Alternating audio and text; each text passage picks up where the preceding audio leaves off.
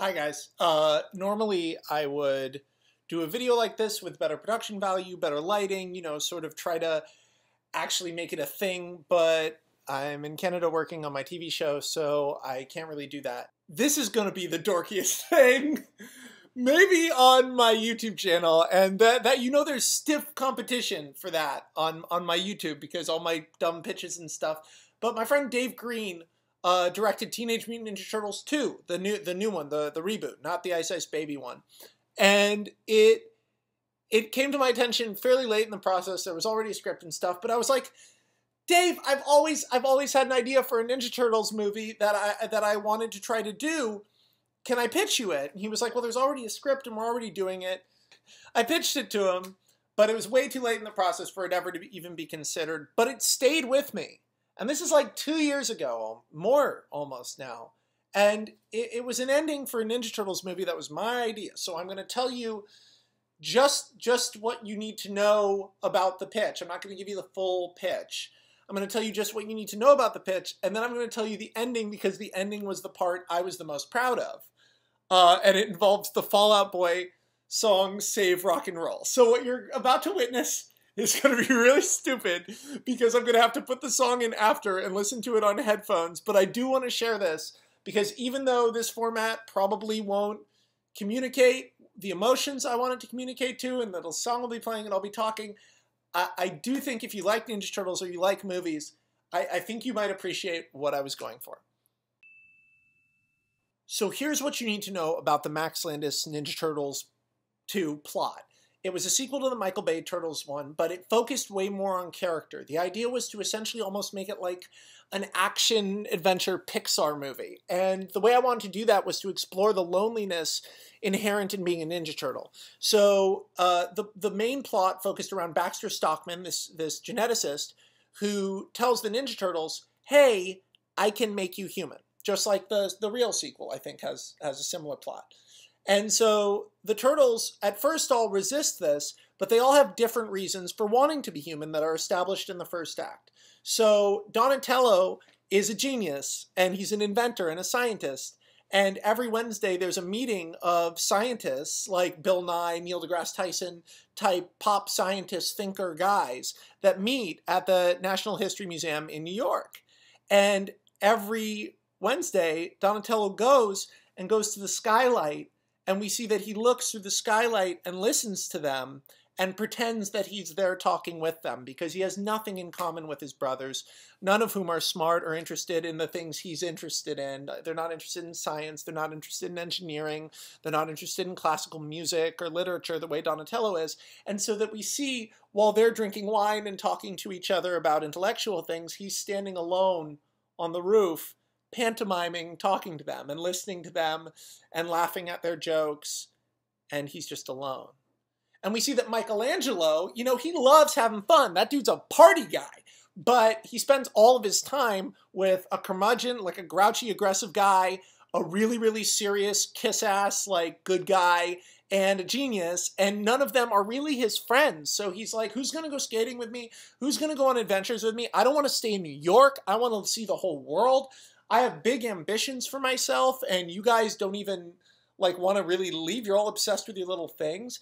Leonardo wants to be a member of the Foot Clan because the Foot Clan back in the day were good guys. Splinter was maybe you know part of the Foot Clan back in the day. I know the movies aren't like that, but fuck it.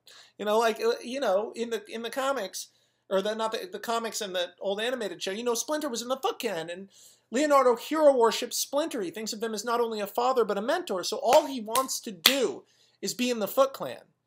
But when they come to New York, and he, the good Foot Clan, not the Shredder-led Foot Clan, which is a Splinter Cell, and he tries out for them, you're, they go, you're fucking Kappa. You're a demon. You will, you are not human, and you will never be in the Foot Clan. You have no honor. And Leonardo is sent away and trudges off and he throws his sword in the ground and is like, "I'm never gonna be a real ninja." And he says that to to uh, Splinter, and Splinter is like horrified because Leonardo, that's his progeny, that's his son. And of course, Raphael is just fucking miserable. He's like, he doesn't want to be a Ninja Turtle. He doesn't like his brothers. He wants he wants to be a cop. You know, he he wants to have a regimented, real, normal life. And ultimately, he's just fucking lonely. He's just a sad, lonely guy who's half of a whole. And he meets this girl who's an actress you like. Uh, let's say Anna Kendrick because I like her. Uh, she's this nerdy girl and she has a genetic disease that causes her to shake all the time. And she uh, works for this guy, Baxter Stockman. And she says, You should come in and get checked out, and we can turn you and your brothers into humans, maybe. So he goes in, Baxter Stockman makes the pitch, he makes it to the other turtles. At first, they are like, Hell no, we're not going to do that. But then they stop like a low level terrorist attack by these two punks who have been hired to break into this other lab and they stop it and they save the city and people are like you're monsters you're freaks and they're like jesus uh, you know leonardo reaches out to save someone and they get scared of him and he's like they're like the ninja turtles are like fuck this so they go back to baxter stockman baxter stockman says i can cure you he takes their blood while he's taking their blood there's a beat where anna kendrick and raphael are talking and they have like really cute chemistry and they're like liking each other and they put there's a thing where he lifts up his hand because she's she's like, "Let me see your hand." They put their hands together, and of course, it's like he has like three fingered, crazy looking turtle hand. She has a little human hand, and it's like, oh, we are never ever gonna be together. You are a mutant turtle monster, and I am gonna die of this genetic disease that Baxter Stockman says he'll cure. Long story short, it turns out Baxter Stockman is evil, surprise, and he's been working with this thing called Krang and at first, it seems like Krang is a company represented by these guys in tuxedos, like like not tuxedos, but business suits. Until we see at one point one of them has food on his face, and a tentacle comes up and just wipes it off his face. And it's like, oh no, they're fucking aliens! They're from Dimension X. And th the reason Baxter Stockman is taking their blood is to make a race of super intense uh, mutants to take over the world you know, same old shit, you know, for Dimension X to dominate humanity. And to do this, he kidnaps all the scientists in the club that Donatello worships. And the two punks who did the terrorist attack on the other lab are kids called Bebop and Rocksteady. And they're just like dumb punks who basically Baxter Stockman has convinced that this this fucking future for them, he's going to turn them into superpowered mutants. And he does. He turns them into a rhino and a fucking warthog. He turns them into Bebop and Rocksteady. Except they're like, what the fuck? We're monsters. How are we going to go back to our lives? And Baxter Stockman goes, I'll turn you back if you work for me. So they're now his thugs. And the Foot Clan is actually there to stop the invention, the invasion by Dimension X, the guys who rejected Leonardo. Except for when they attack Dimension the the Technodrome, they all get basically endangered and almost killed. And the main their main leader who's like this great warrior, is killed horribly by a Krang, and his sword falls and breaks.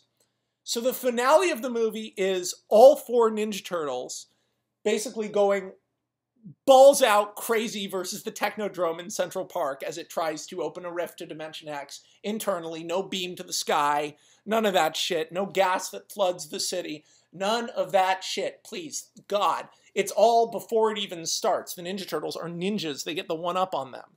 Donatello uses his brains to free the scientists inside, and they witness him do it and are like, wow, you reprogrammed an alien computer? And they help him take over and deactivate the security on the Technodrome.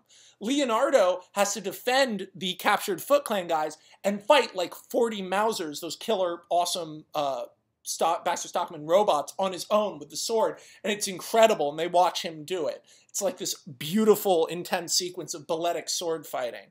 Raphael has to go back to the lab because it's been turned into basically a bomb and save Anna Kendrick, who gets herself out because women always get themselves out in my movies. However, then she's injured because of her disease and he saves her at the last second.